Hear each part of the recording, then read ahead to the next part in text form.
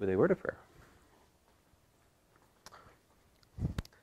Dearly Father, we uh, thank you uh, for this opportunity we have to meet together and study your creation once again. We pray that you'd uh, keep the tornadoes from forming so we can do math. And uh, just help us to understand the uh, definition of the Lebesgue integral today, Lord. In your name I pray. Amen. All right, so um, yeah, what I was, I think what I got stuck on in terms of the Riemann integral last time was, you know, my um, understanding of the definition of Riemann integral is based in terms of a limit, um, a limiting procedure of, um, you know, picking sample points of subintervals at random, right? Something, something like that. And um, in contrast, you're telling me that inter- the Riemann integral is defined in terms of, you know, taking, looking at families of upper or lower sums that, you know, bound something in between and then some sort of pinching argument says that thing exists and whatever that thing is is the Riemann integral. Well, so I, I, I, decided to look in um, Hille and um, Etgen's 10th edition calculus book because they actually have you know, a, a, pretty lengthy discussion of these things at the level of calculus too, believe it or not. And um, what I found in there was that they defined, they said that the definition that's given in volume one is the Darboux integral. So using like upper and lower sums to pinch something in the middle is that that idea was introduced by Darboux somewhere between 18, 1870s or something late, maybe 18, between 1870 and 1910, somewhere in there. I forget exactly. Obviously before Lebesgue. And then I, I, my sort of surface level interpretation of what's going on here is that the Lebesgue construction is essentially like taking what Darboux did and making it a little bit better and a little bit more, you know, well, general. Um, and you know, this, this, these notions of almost everywhere and the measurability that there's something genuinely new added there, right? But in spirit, it's really more close to the Darboux notion, I think, than the breaking things up into boxes and taking the limit as the number of boxes goes to infinity, picking random sample points, which I would say is the Riemann definition. Um, so, and it, it, it pretty much says that. Well, not, it doesn't say that. It it, I, Salas and Hille doesn't say anything about, um, almost nothing about Lebesgue, if anything. It just talks about integration, of course, because it's a Calculus 2 book, right? But my point is simply that I think the definition that's given in volume one of this series, the Princeton lecture series, is a good, I mean, it's a good definition.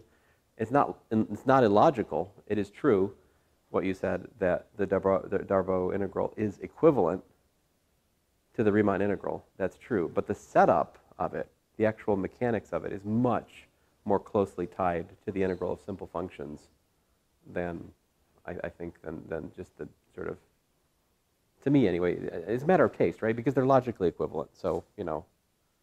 All right, let me get started. Um, right, so let's continue.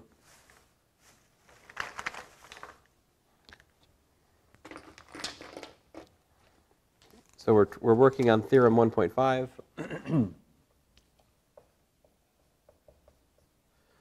which was that the integral, sorry, suppose f is Riemann integrable on the closed interval.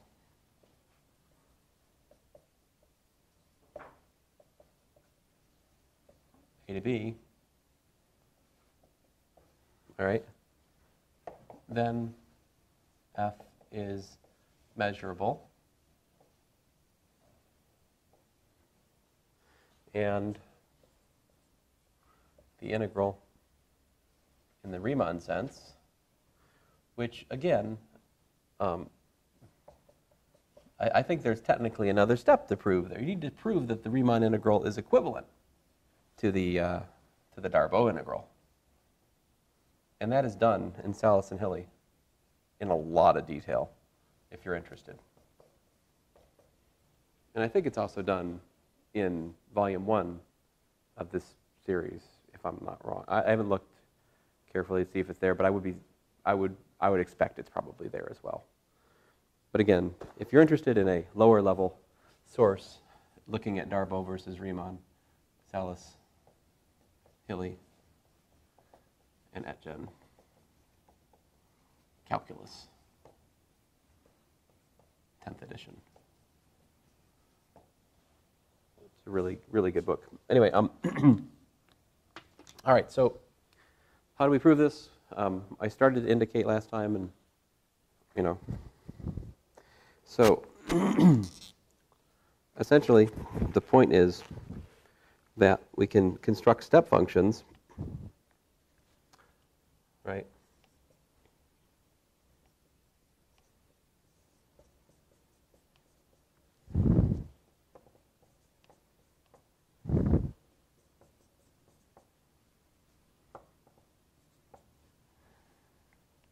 Are these step function actually, or are these simple functions? I can't remember.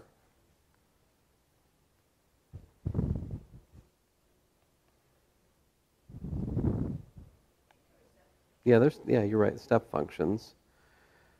Um, there's step functions where um, they're bounded, right?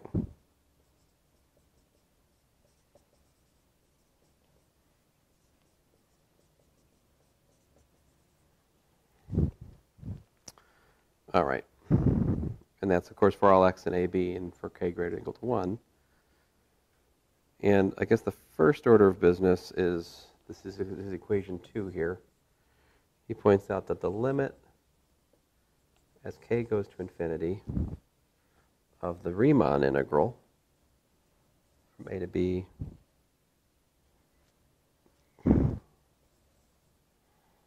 vk of x dx equal to oh and so this is this goes back to you know um, you know you're looking at a family of upper versus lower sums and the limit they're supposed to agree and that they agree on is the integral. And that's why this is equal because this is the this lower sums and what I'm about to write is the upper sums right? And Darboux says that those both converge on the unique quantity which defines the integral for appropriate functions, right? And so, and that, and that, by definition, is the integral, Riemann integral from a to b of f of x dx. So I would say equation two is essentially the definition of Darboux integrability, which is again equivalent to Riemann. And um, he says, okay, so first it follows immediately from the definition for step functions that the Riemann and Lebesgue integrals agree for step functions, right? So this is 2. We also have equation 3, which says that, guess what? Term by term, we get agreement, like integral of phi k of x is equal to the integral of phi k of x and the integral of psi k of x is equal to the integral of psi k of x. You might think I'm saying nothing. That's because I'm not done writing yet. Right? So on the left-hand side, perhaps Riemann, and the right-hand side, Lebesgue. All over the closed interval.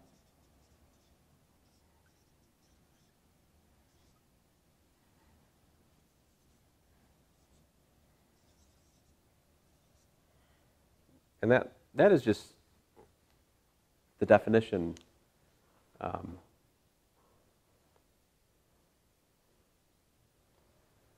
I mean, this is very silly, but if you think about upper and lower sums to approximate, I mean, upper lower sums, the upper and lower sums in the Darboux notion, they're, you know, steps above or steps below the thing you're integrating, which approximate it, right? So when, when you're approximating a step function, it's analogous to like asking what's the best, uh, what's the Taylor series for uh, x cubed plus 3x plus 2 centered at 0? You know, it, it, it is that. It's already its own Taylor series. I mean, this, this is already serving as the upper and lower sums. I mean, the, the, it, it, not only is it the limit, it, it is, I don't know how to even put it into words. It, it already is an upper and lower sum, um, this or that. You know, the limit is kind of boring in this, in this context over the possible upper and lower partitions. And on the flip side, well, that agrees with the definition of Lebesgue integral, right? Because we just took the measure of the set times the, um, well, I guess you got to break it up into pieces, right? But, um, I mean, it doesn't have to be a single step, is my point, right? The step function is not a single step, it's a bunch of steps, right? I mean, it's a finite number of steps of given values unmeasurable domains. That's how lightning. All right. Let me move along. And it has been pointed out I only have three class periods left. So it has been it has been pointed out. Okay, so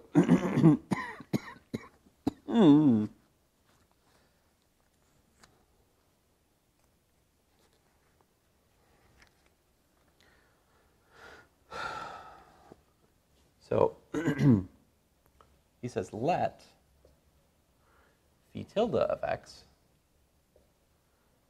be the limit as k goes to infinity of phi k of x.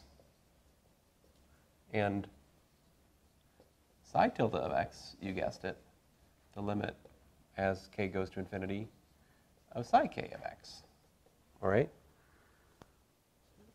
Note, by their construction, we have that phi tilde is less than or equal to f is less than or equal to psi tilde, right? Because of the um, this over here, right? So this gives us that inequality.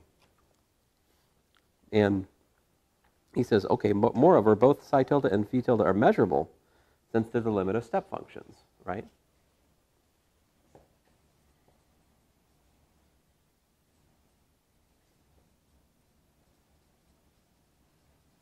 measurable since they're the limit of step functions.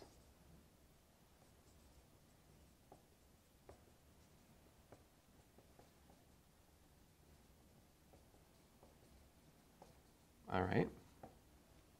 What next?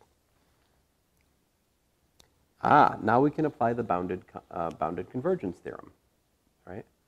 And the bounded convergence theorem said what? It allows us to take the limit as k goes to infinity of the Lebesgue integral over the closed interval from a to b of phi k of x dx and trade it for what?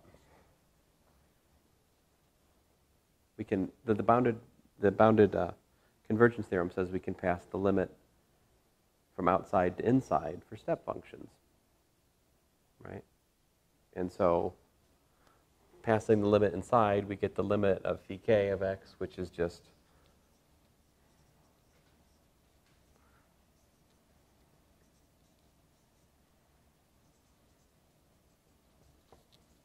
of course, that's just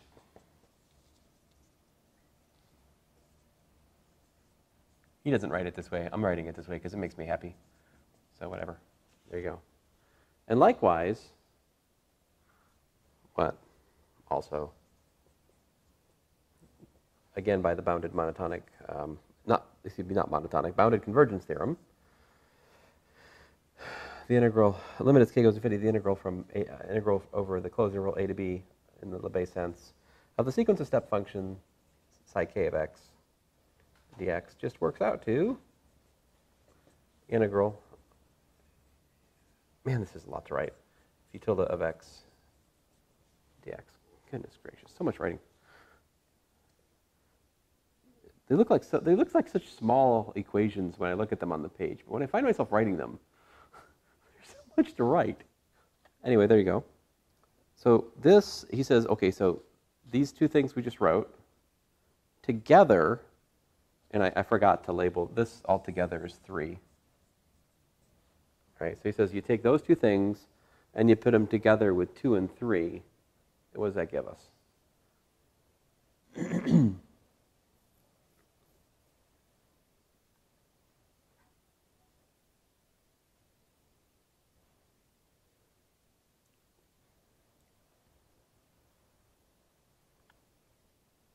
too close to the board to see it. You tell me. Meh.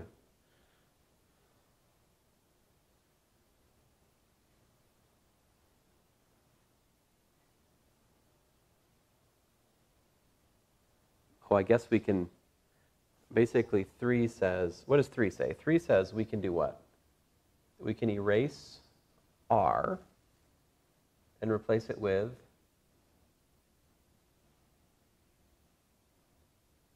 L. That's what 3 says.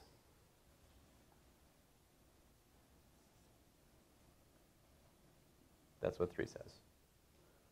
And then what is the what does the bounded monotonic uh, I keep saying monotonic bounded convergence theorem say to us? We can take these limits and what is this this is integral of the uh, Good job. Psi tilde of x dx, yeah? In the Lebesgue sense. And this integral of phi tilde of x dx, again, over ab in the, in the Lebesgue sense. And they're both equal to that. So what does that, what does that tell us? Well, he says from that, and I think you'll believe this, hence the integral in the Lebesgue sense over a to b of the difference of psi tilde of x and phi tilde of x dx is equal to 0, right? But then he points out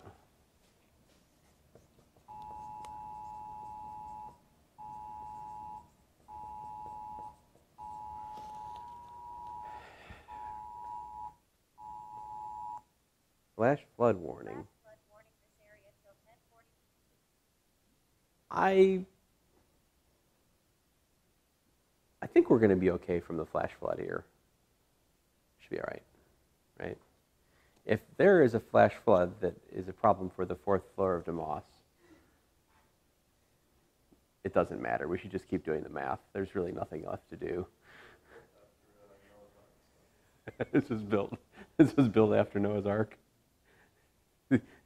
The biology department made us make it make it a floatable building. Yeah, like when it's two stories high, it's the. Oh, is that right? So DeMoss. Four stories is too tall, like after two stories, Why have I never heard this? they teach us this like The thing feel so so so. I learned, I heard, I heard it in one of my Bible classes. I, now that you say that, having gone to the uh, what's it, Ark Encounter? You guys been to this? It's up in I think Kentucky. It's uh, Ken Ham's big wooden. I mean, they have built a a scale replica of the Ark. It's uh, it's really really something. You've never seen this much wood in one place. I think it's the largest wooden structure on Earth, if I remember right. I mean, it's it's wow. Um, so many well-behaved Amish children in there like you've never seen more better behaved like large families. It's it's really something to behold. But um, anyway now that you mention it that is about the same size as this building. Yeah interesting. I did not know that. Okay I'm, I'm, I'm supposed to get to a point here. So this is given to by you know by construction that's greater than or equal to zero. And so that means that psi tilde minus phi tilde is greater than or equal to zero and then he says, by the observation following the proof of the bounded convergence theorem, we conclude that um, psi tilde minus phi tilde is equal to zero almost everywhere.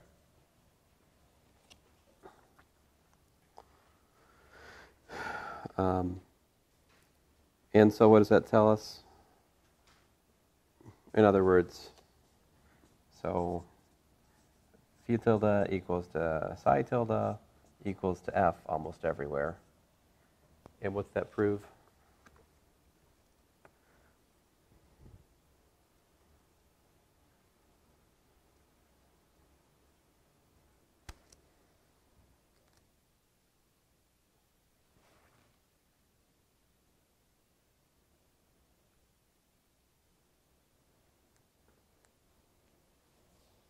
So what does that mean? f is the limit of a sequence of step functions, therefore f is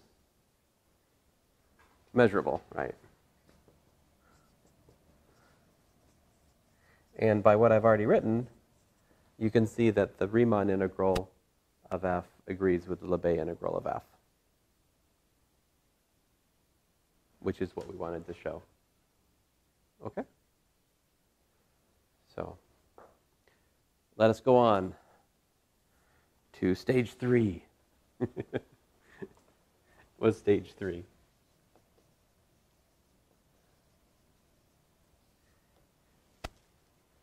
He says we, prof- we proceed with integrals of functions that are measurable and non-negative, but not necessarily bounded. That means that the functions are allowed to be extended valued. Um, so these functions could take the values infinity. Uh, it could take the value of infinity on, on some measurable set. All right. And again, when we talk about supremum in here, the supremum could be infinity if the set's unbounded, right?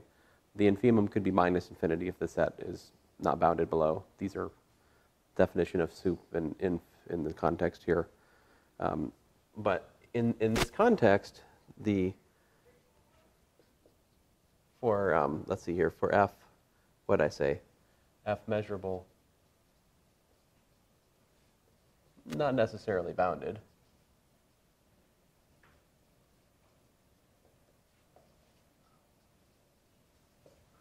Right, because the stage two was what?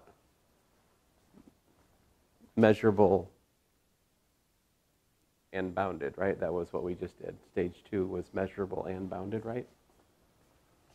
Um, so measurable and bounded, we were able to define the Lebesgue integral. And so here, not too different. Here's the definition. The integral, come on, integral of f of x dx um, is equal to the supremum, so over g, of the integral of g of x dx. What is the, where is, he he says this is the extended Lebesgue integral.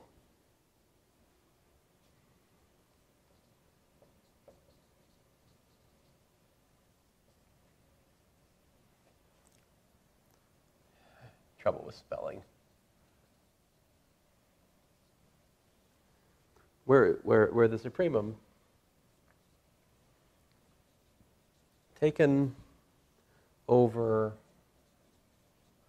all measurable functions g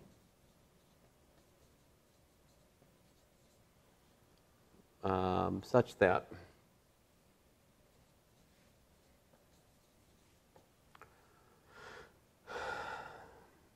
zero less than or equal to g less than or equal to f. And what's the deal with g? g is bounded um, and supported on a set of finite measure.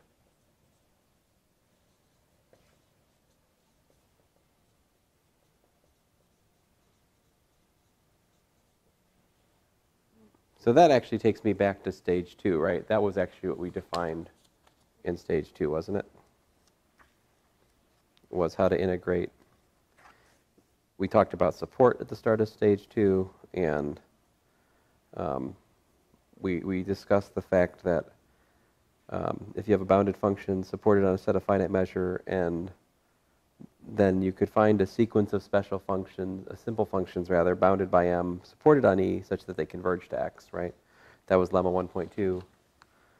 Um, and then we looked at that adding zero argument and fussed with the, uh, the integration over a sub epsilon and the complement by a sub epsilon, went through all that stuff. And eventually we defined the Lebesgue integral of such a function, uh, again, supported, um, bounded supported on a set of finite measure by the limit as n goes to infinity of the step functions which, which represent said function. And then we, then we talked about why that, that limit should be unique a little bit. And then ultimately that allowed us to, you know, do, this. Um, excuse me. So what I'm trying to say is each one of these things, right, the integral of g of x dx is a stage 2, stage 2 Lebesgue integral, right? And so now we're taking the supremum over all such things to define the integral um, for if it's measurable but not necessarily bounded. All right. Um, he says, with the above definition of the integral, there are only two possible cases. Either the supremum is. That is some weird sound. That was that was a really weird sounding thunder, right? I mean, I think this is very strange thunder. I don't like strange sounding thunder. It comes from strange looking clouds, right? I would think. I'm going to shut up. Just go on. Um,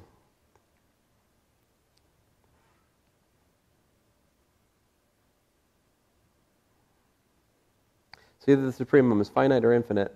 He says in the first case, when the integral um, is less than infinity, we say the f is Lebesgue integrable or simply integrable. So that's why he's saying it's the extended Lebesgue integral because this definition makes sense even when that works out to infinity. But when this is less than infinity, then we say that f is Lebesgue integrable. So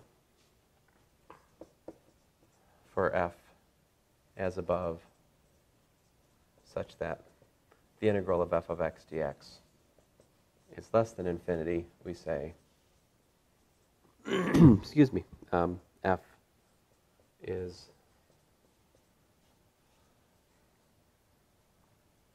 Lebesgue integrable. All right.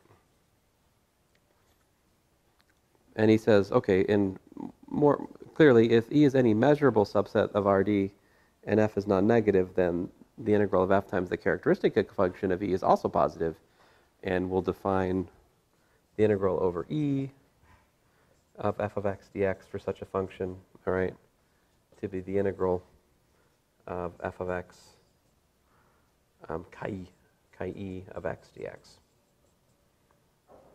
Okay, so if I understand logically what's going on here, this is being defined in terms of that, which is giving meaning to this. Okay. And it gives a couple of examples. And um, he says that, and I'm not going to work on these examples because he's got better examples later that have got a lot more details that I want to get into. Um, but he, he claims here that FA, F sub A of X, um, so that's the, um, the, the length of x to the minus a power for x less than or equal to 1, the length of x less than or equal to 1, and 0 for the um, length of x greater than 1. What he says here is he says that this is integrable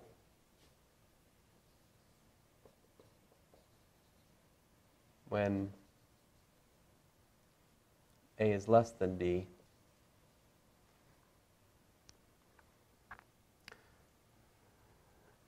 And he also he has another example where he says it's integrable when A is greater than D. That's this one.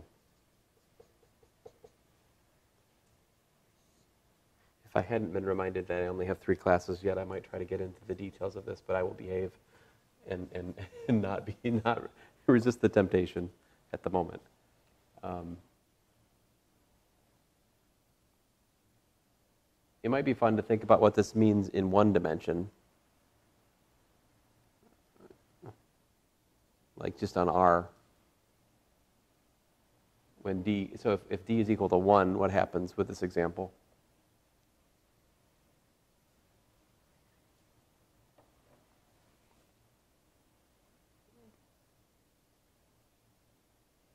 So it's saying that the reciprocal, so in one dimension, the, um, that just be the absolute value of x, right? So the integral of absolute value x. And it's, how's it, I mean, I could graph it in one dimension, right? So 1 over absolute value of x is just, just between 1 and minus 1, right? That's the distance 1, so I mean, it, it, it, it looks like that, right? Well, I'm not, I'm not, not very, I guess it probably should go to here, right? Duh.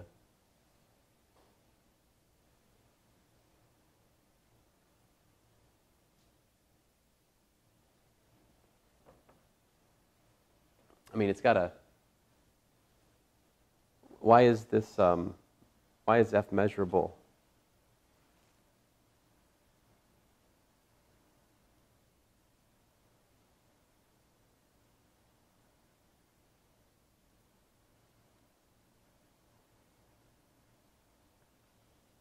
Can you explain to me why F is measurable?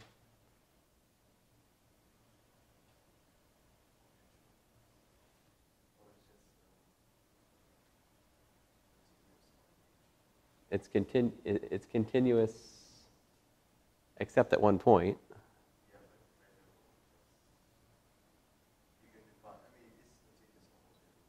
So if it's, if it's continuous except on a set of measures zero, it's measurable, it's measurable? So, the, of course, the origin has measure zero. That's where also where the function's infinity, right?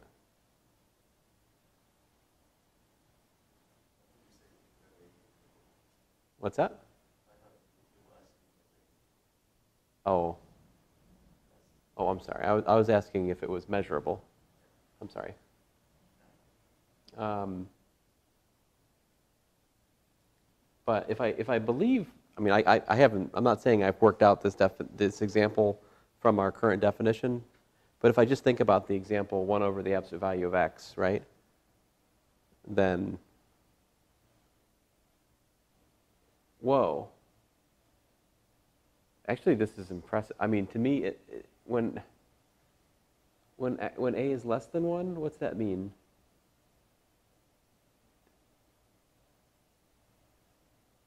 I'm, I'm sorry, I'm trying to think of, so that's 1 over absolute value of x to the, to the a, right?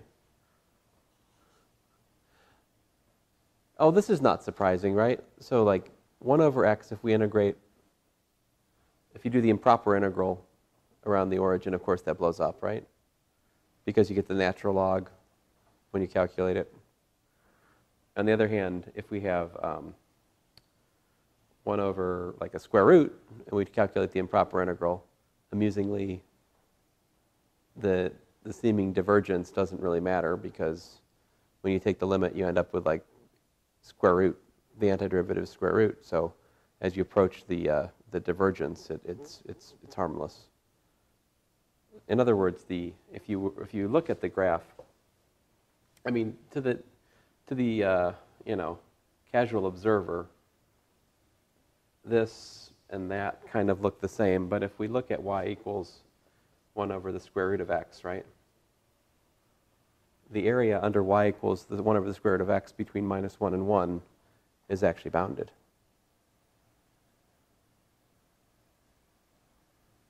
Because this is an improper integral. And when you, when you, when you, when you calculate the antiderivative here, you get square root of x. And then square root of x, as you're approaching, you know, you do both sides separately, and both sides are finite because you're just looking at square root approaching zero, which is fine.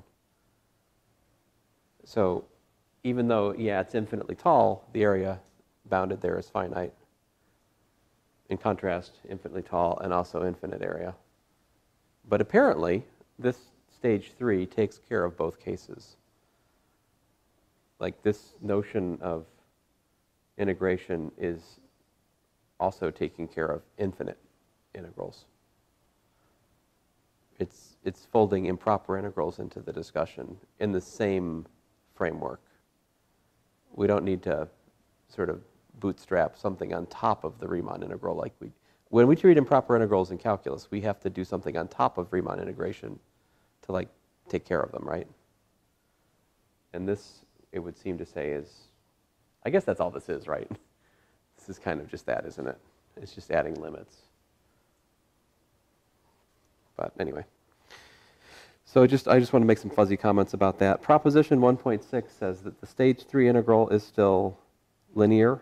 Uh, it has linearity, it has additivity, it has monotonicity, as we've written down other days. And what else? It is. Um, ah, and there's a couple of, um, but there's a four, four, five, and six maybe um, of the um, stage three proposition are worth writing down. So I'll, I'll do that. I mean, I'm, we, we, I've written linearity and the additivity. I mean, I've written the other stuff before. I'm not gonna be lazy. So, part four says if g is integrable,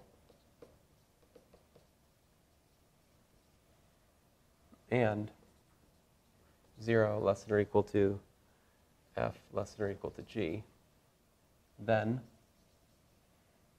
f is integrable.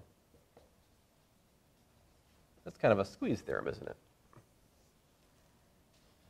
Um, and 5 says that if f is integrable,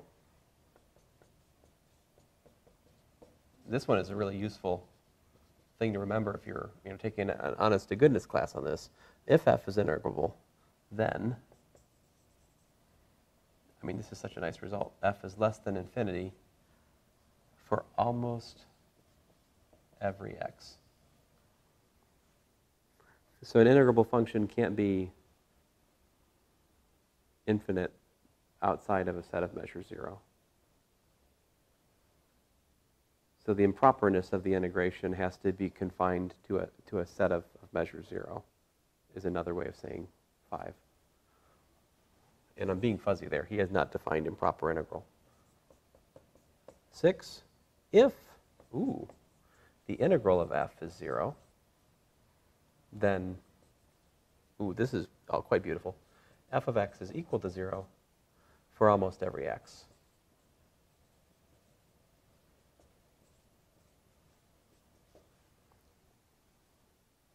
All right.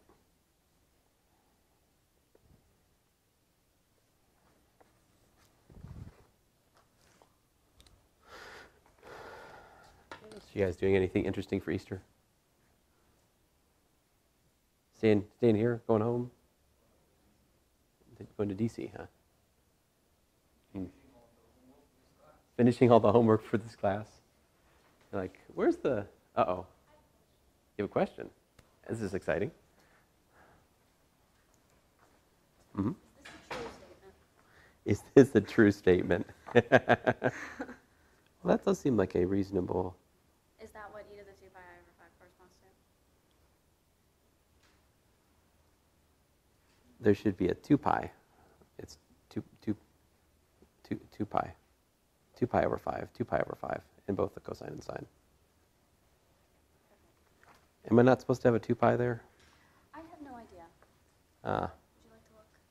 I mean, you can consider it whether or not the 2 is there. So, um, I think it's fine. Oh, I mean that that what you wrote is fine. Yeah, yeah. But I, if I'm wrong and you disprove it, that's also, of course, a full solution. But I don't think it's wrong. So Okay. I'm pretty sure it's not. mm-hmm. Let's see here. Where were we? Uh. Oh, yes, yes, yes, yes, yes. yes.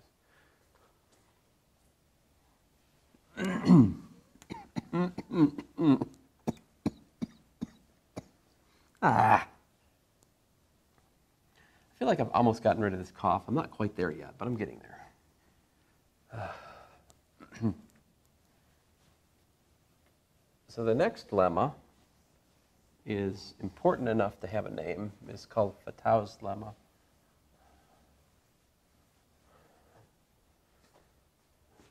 Write it down here for you. Lemma 1.7.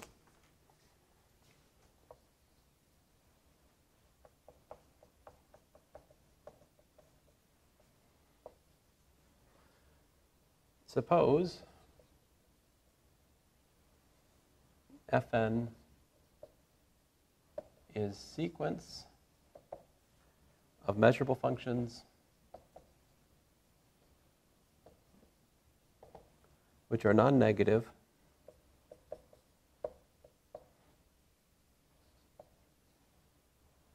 if the limit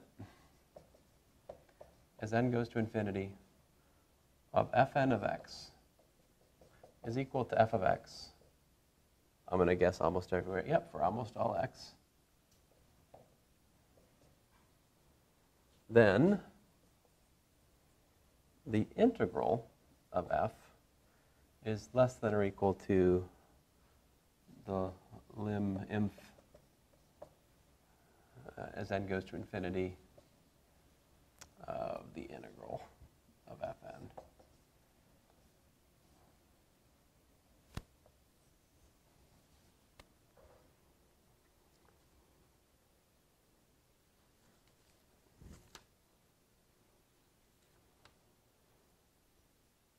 Now, he, he gives a cautionary example before he, before he, before he even states this lemma. He, he, he apologizes for this lemma not being nicer than it is because of the example I'm about to write down. The example I'm about to write down sort of spoils what you might hope for. Um, and the example is this it's, um, and, and so the question that's begged is, you know, um, does the integral of fn dx just go to uh, integral of f of x dx? I mean, f dx in this, in this non-negative context? And the answer is no, because if we look at fn of x equal to case-wise defined n, if um, 0 less than x less than 1 over n, and, and, and, and 0 otherwise, if we look at this sequence of functions, um, then it is the case that fn of x goes to 0 for all x, and yet the integral of fn of x tends to 1 for all n. Well, no, the integral of fn is, is, is literally 1. Let me, let me, I think it's good to see a picture of this, actually. Um, so what, what's, what's going on here? We'll start out with, um, well, I guess we could start with, here's 1. So what, what's this look like? It's 1. 1 between what? Yeah.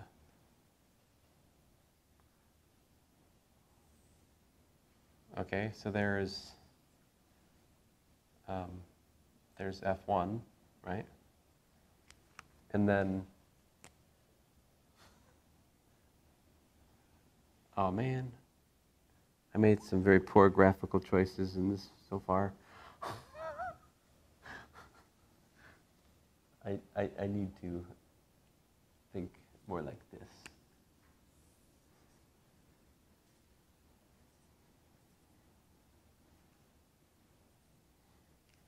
So it starts out,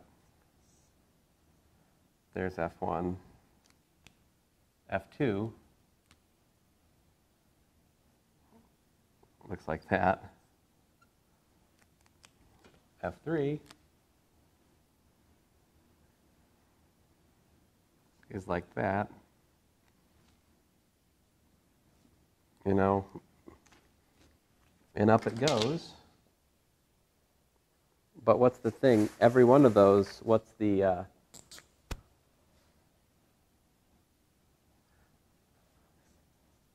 But if you look at the integral of, you know, the, well, the integral from 0 to the 1 of, well, n, 0 to n, 1 over n, rather, of n dx, what is that? That's nx evaluated from 0 to 1 over n, which is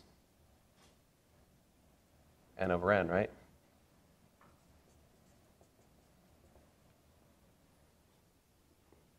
it doesn't, I mean, it's obvious for the first one, right?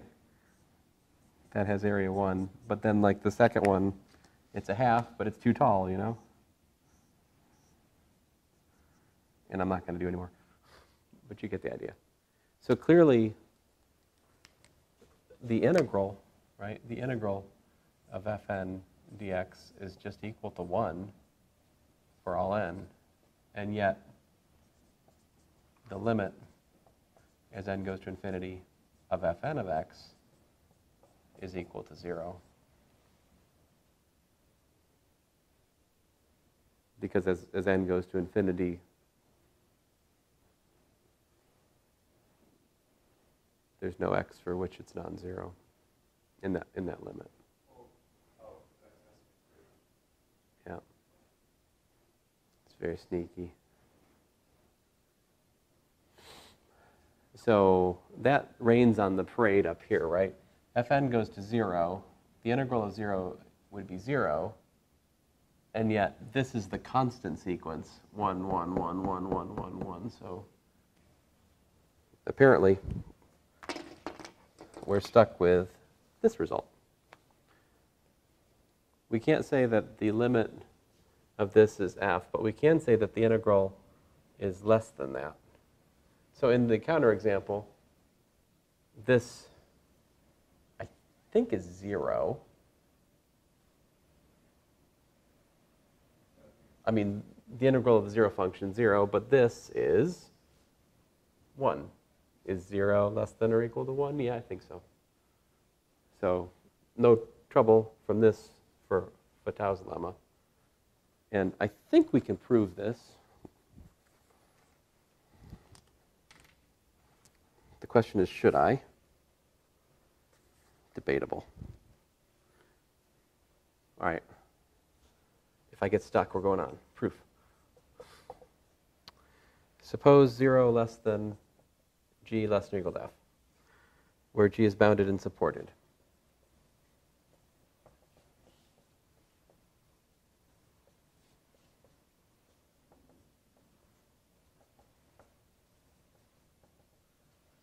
and that, that uh, E is a set of finite measure.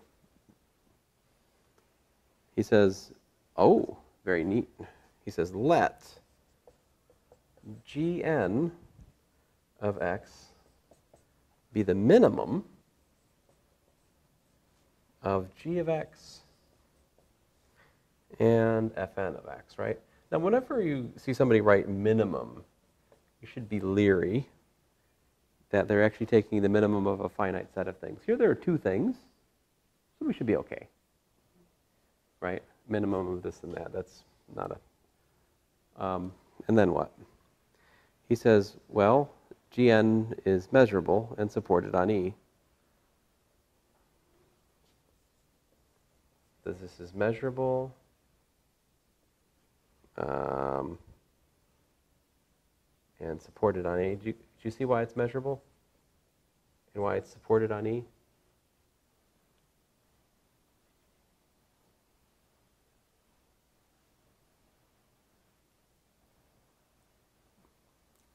Well, here's why it's supported on E. If G was non-zero outside of E, right? If G was non-zero outside of E, this would be troubling because G is less than F. And we know that F is 0 outside of E because F is supported on E. So that's why, that's why um, um, G is, well, I was arguing why G is supported. Why is Gn supported? I guess the same reason, right?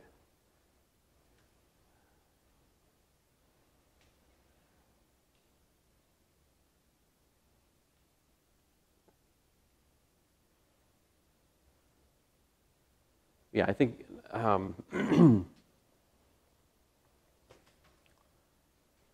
Ah. Well, something along those lines. I think I've, I think I've argued why G is supported. I don't think I've argued why both of these, the minimum of that is supported. Can you guys tell me how to upgrade my argument for that?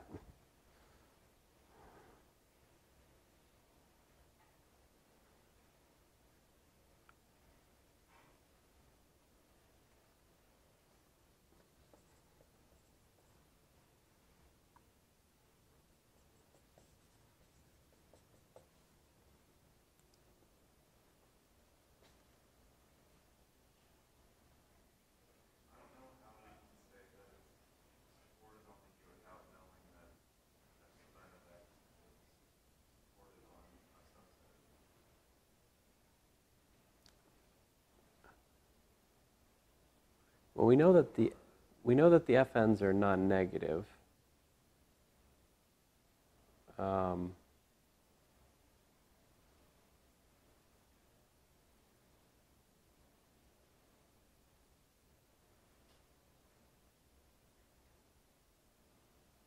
and we know that they limit to F.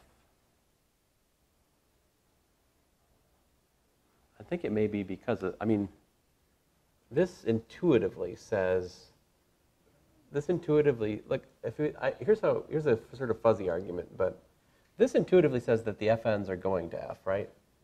So these these can't be they, they can't be non-zero where f is um, well that's in the limit though isn't it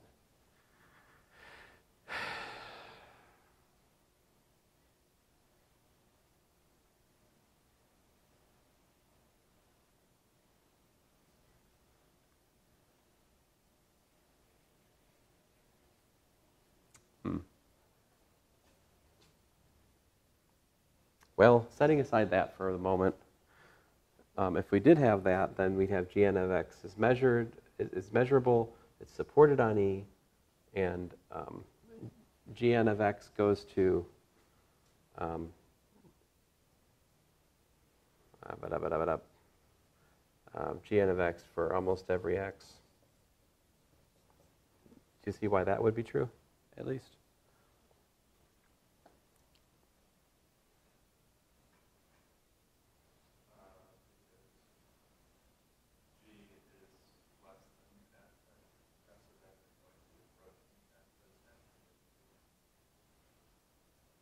So it's just kind of a, a squeeze theorem, right? I mean, okay. Um, oh, so then with this, then by the bounded convergence theorem, we have that the integral of gn goes to g, integral of g rather. And he says, by construction,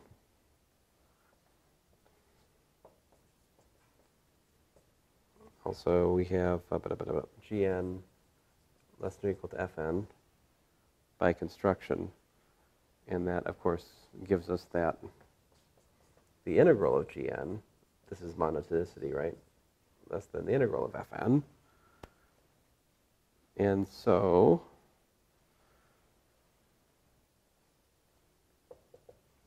the integral of g is less than or equal to the lim inf as n goes to infinity of fn, integral of fn.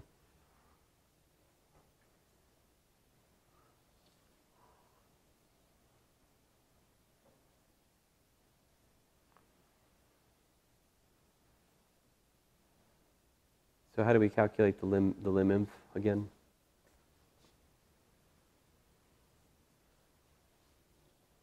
Is that over all possible subsequences? How's that work?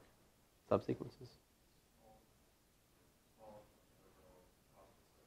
So the, yeah, the, because the smallest convergent limit over all possible subsequences. I mean, whatever kind of limit would you? Okay, but um. So whatever subsequence, whatever, whatever subsequence you imagine, it's this is below it, right? And so as n goes to infinity, any subsequence of gn also goes to g, right? Because if gn converges to g, the integral of gn converges to g, so does any subsequence of right? I mean, this is a theorem we have, right? Any convergent limit, if you take any subsequence of a convergent limit, the limit of the subsequence converges to the same limit. Am I wrong? Yeah. Well, for bounded measurable. I, I it. In, my, in the context we're in. Okay. okay. Um, and then he says, take the, you take the, um, then finally take the supremum. He says, supremum over all g gives us that. Because that's, you know, we take the supremum over all such g, that's the integral of, um, integral of f. Because it goes back to integral of f of x is supremum over all g, integral of g of x, where g is between f and 0 like this, and g is a bounded and, you know, bounded supported on a set of finite measure like that. I guess, I guess there's a lot going on in this lemma, right? Um, hmm. Mm. Cool, cool.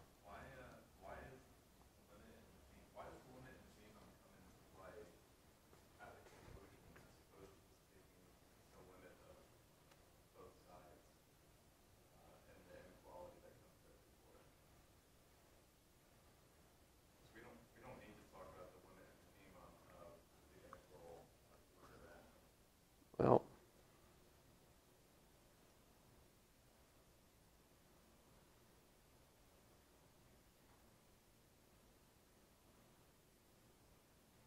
it must be that there could be trouble making subsequences of the f given the context, and we have to get rid of those troublemakers. You know?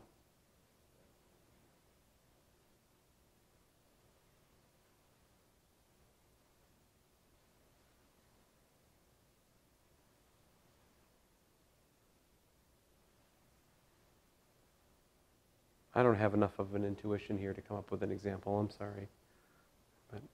But I, I mean, I hear what you're saying, but um, I know this book is careful enough. They wouldn't throw it in there if it wasn't needed. So if we're not understanding why it's needed in the proof, it's because we don't quite understand the proof. Sorry, but true. Uh, corollary 1.8 if we have f as a non-negative non-negative measurable function.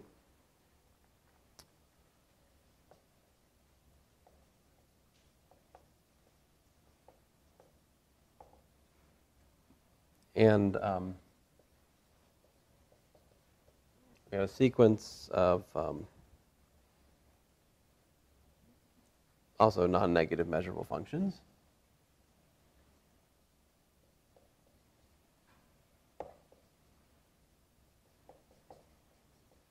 with fn of x less than or equal to f of x. And fn of x going to f of x for almost every x, then um,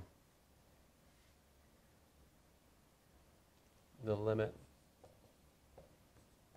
as n goes to infinity of the integral of fn equals the integral of f.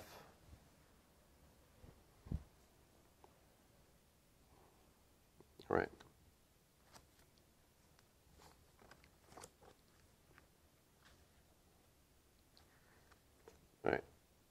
This is a corollary.